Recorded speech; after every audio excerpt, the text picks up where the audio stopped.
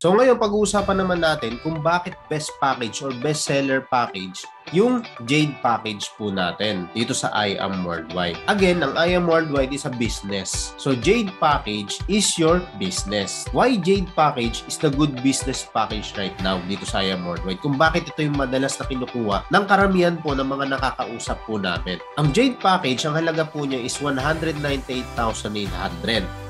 Tanong, kapag nagnegosyo ka sa labas, traditionally, example po, food cart franchising business, magkano usually ang nilalabas po dyan? Usually po nasa 300,000 to 500,000. So maganda na po ito. Ang tawag po dyan is small cart. Pwede ka rin pong mag uh, water refilling station. So sa halos same lang din po ilalabas mo na kapital. So maganda na po yan. Then, food restaurant. So usually pag restaurant po, syempre dahil marami po itong kailangan, ang kapital na kailangan mo dyan nasa 1 million to 3 million pesos. Pero ang tanong po dyan, pag nagnegosyo ka, kailan ang ROI or tinatawag po natin na return of investment. So ang return of investment po usually kapag sa food cart franchising business, umaabot po siya ng 6 to 8 months. Dito naman po sa water refilling station dahil ang water po ay necessity naman, nasa 5 to 8 months bago mo mabawi yung nilabas mo. So syempre dahil dito sa food restaurant medyo mas malaki yung nilabas mo, umaabot po yan ng 2 to 3 years na return of investment. Kaya kaya lang, this the big question, bago makuha ang ROI, ano yung mauuna? Yan po yung tinatawag po natin na risk or yung OPEX or operational expenses. So bakit ko nasabi na risk? Kasi hindi mo alam if kailan dadami yung customer mo. Sa Jade package po, based on the business presentation na napanood mo on the first video, para mabilis bumalik yung iyong puhunan, magre-refer ka lang ng apat na tao. Pero usually, ang tanong ng iba, paano kung wala akong ma-refer na apat?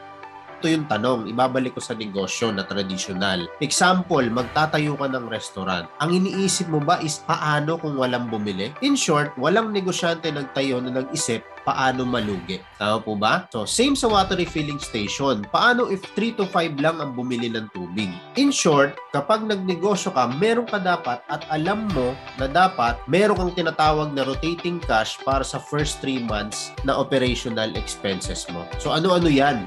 Yan yung tinatawag po natin ng mayor's permit, DTI's permit, 2 months advance, 1 month deposit sa rent area mo, or pwede rin pong renovation and etc. Diba? Sa papasahod ka pa sa mga staff mo. So, in short, kailangan on your first 3 months, meron ka talagang rotating cash. So, bakit ko nasabi to? Kasi ako mismo, nag-traditional business din ako na clothing store. So, ganyan sa traditional business. Pero, Itong Jade package po natin, ang kagandahan dito, sa 198,800 mo, ROI ka na agad. Pag avail mo pa lang, kasi bakit? Meron ka na agad 100% na produkto na makukuha. So, sa OPEX, syempre, wala ka nang gagastos operational expenses, kaya hindi mo na kailangan maglabas sa mga ganito pang permits. Ngayon, ang tanong ng iba, paano yan? Di ako marunong magbenta. Hindi po ganyan sa business. Ang business po, meron po siyang tinatawag na system. Na lahat ng negosyo, merong sistema, kaya po umuunlad. Example na lang po sa McDo and Jollibee. Meron po yan sistema. Kaya successful po sila, hindi naman po yan sa galing nila magbenta ng produkto lang. Same sa Jade, meron din po siyang sistema. Ano yung sistema? Avail, refer or share, then learn and earn. So wala pong sinabi na avail and sell. So hindi ka po dito tuturuan na mag-sell ng products. Pero if gusto nyo po, bonus po yung pagbebenta. Pero dito, kahit hindi po kayo marunong magbenta, 'di ba? Meron po itong sistema na para mas mabilis ka pong kumita. So, ano 'yon? Ano yung sistema na 'yon? Kailangan mo lang maghanap ng apat na kakilala na gustong mag-start ng business. So, kung i-compare natin yung Jade package sa mga traditional business dito, ano yung mas maliit na kapital? Syempre, yung Jade package, 'di ba? So, kailangan makita po ninyo na yung Jade package, maliit na puhunan pero malaki po yung pwedeng kitain ninyo at hindi niyo na po kailangan ng malaking personal expense expenses. So ito po yung sistema para mas mabilis kang kumita. Kapag nakapag-refer ka ng apat, magkano agad ang income mo? Meron ka na agad 300,000 pesos. Ilan ang kailangan? Apat lang. And the good news niyan, no time frame. Kahit busy ka or may iba kang ginagawa. Let's say, um, ginagawa mo or nakakapag-refer ka ng isang jade sa loob ng isang buwan. So, lugi ka pa ba nun? In your 4 months, meron ka na agad 300,000. Diba? What if yung jade mo per week, edi 1 month, may 300,000 ka na. So, ROI ka na. Yung products, gamitin mo na lang para maging healthy kayo ng buong pamilya mo. So, aanin mo naman yung cash if hindi naman kayo healthy, di ba? So, I do suggest yung produkto na meron ka, gamitin mo na lang at ng family mo. And again, this is the best part of the system, unlimited po siya. Diba? So, what if naka-4 ka ulit after 2 months? So, another 300,000. So, in short, magkano nakinita mo? Meron ka ng 600,000 pesos. Tanong, kung sa traditional business, gaano katagal kitain ang 300,000? Pangalawa, habang hinahanap mo yung mga kakilala mo na gustong mag-business, wala kang nilalabas na pera kasi wala kang binabayarang renta, wala kang binabayarang staff. In short, no operational expenses pa sa'yo. Kasi sa bahay lang, pwede mo nang gawin. Kahit saan, pwede mo nang gawin. Or pwede ka na mag-refer kahit saan. So, hindi mo na kailangan ikaw mismo mag-explain. Send mo lang tong video na to na nag-explain. And kapag nag-avail po siya, syempre, automatic sa'yo po yung credit. Yan. So, not like uh, sa traditional business, may benta or wala, magpapasweldo ka. Magbabayad ka ng renta. So, syempre, kami din mismo, Jade din yung package na inabil namin. So, ayan po yung pangalan po namin, Gladys Agos and Romel Agos. So, dalawa po kami ng wife ko sa isang account. Jade po ang inabil namin. And madami pang mga nag-avail dito at patuloy na nag-a-avail. So, ayan po yung mga tao na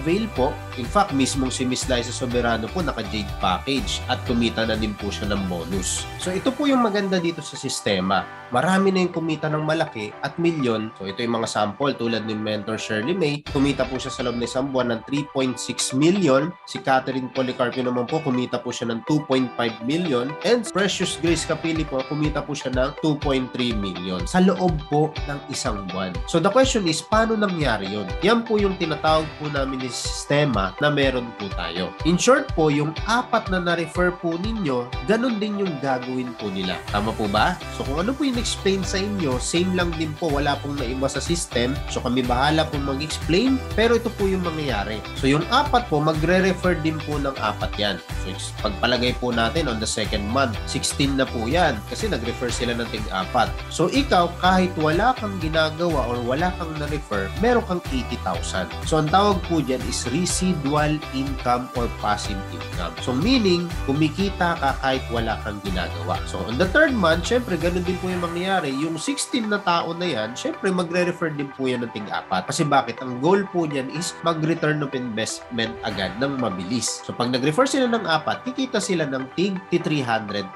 Pero ikaw, on the third month, dahil meron po tayong tinatawag na system, so 16, naging 64 po yan under your organization. So ikaw mismo po, kahit wala ka pong ginagawa, residual income, kikita ka na po agad ng 320,000. So pagpatuloy po natin on the fourth month. On the fourth month, nag-refer din po na tig-apat yung 64 mo, ikaw naman po ay kikita ng 800,000. Pero supposed to be, dapat ang kikitain po ninyo is 1,280,000.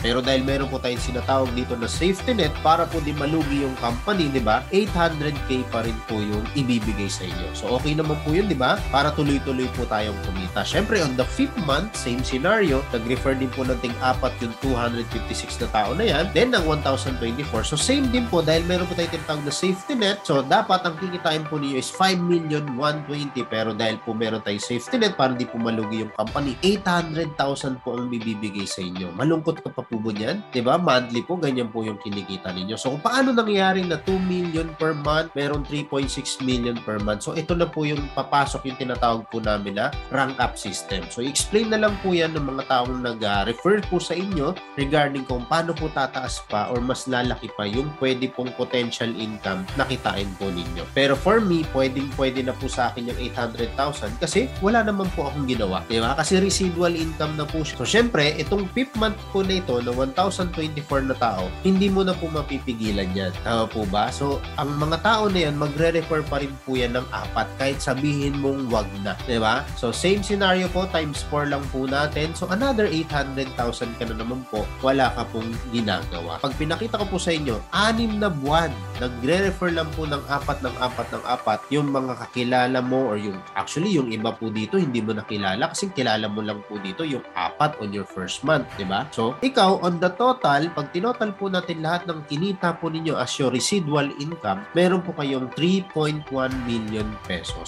Tingnan mo ah, business perspective na lang. Huwag mo na tingnan to as a network marketing bilang negosyante na lang. 198,800 ang nilabas mong puhunan. Pero in 6 months, kumita ka ng 3.1 million total income. Okay na okay ba yon? For me, sobrang okay na okay na. Kasi bakit? Wala kang binayarang overhead expenses. Nag-refer ka lang ng apat na gusto din magnegosyo. In short, kesa natutulog yung pera mo sa bangko, yung 198,000 mo, sabihin na lang natin in 1 year, hindi na lang 6 months. May risk ba? Di ba wala? Wala kang risk, walang operational expenses. Kahit pagpalagay natin, dalawang taon para kitain mo yung 3.1 million. Pwede pa rin. Kasi bakit? Magkano lang nilabas mo? 198,800 pesos lang. Pero, ganyang kalaki ang tinubo ng pera. Di ba? Kasi lagay mo sa bangko yan, tulog talaga yan. Ito yung question ng iba. Eh paano kung ako lang yung nakaapat? Di nila kayang makaapat.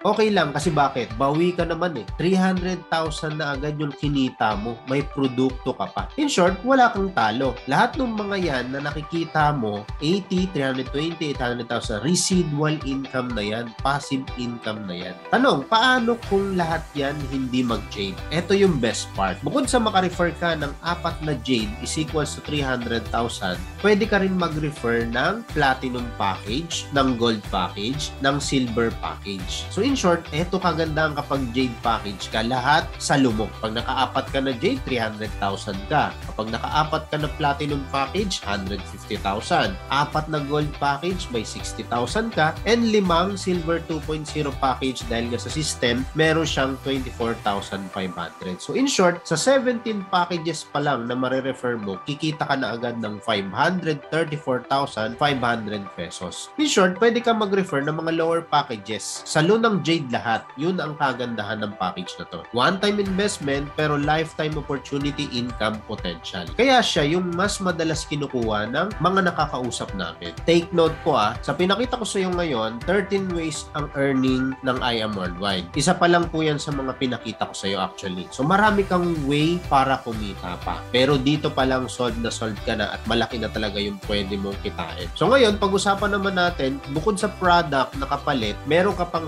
10 product voucher na 50% off sa lahat ng produkto. So one product voucher is equivalent to 10,000 pesos distributor price. So ang barley po as dealer price, nagkakalaga po yan ng 500 pesos per box. SRP po or suggested retail price or standard retail price is equivalent to 1,000 pesos. Sa isang voucher mo, pwede ka na magkaroon ng 20 boxes times 2 dahil buy one take one po siya. So 40 boxes. So parang nagkakahalaga po ng 250 pesos per box. So 40 box times po natin ng 1,000 pesos. So ang value po ng kada isang voucher po is 40,000 pesos. So i-times lang po natin siya sa 10 product voucher. So that is 400,000 pesos pa po ang makukuha nyo na value dun sa package ng Jade. So plus 200,000 worth of products. Di ba? Pag nag-avail po kayo ng 198,800, meron po kayo makukuha ang produkto na halagang 200,000 pesos. So in short, ang value ng products na makukuha mo kapag in-avail mo yung Jade package is nagkakalaga ng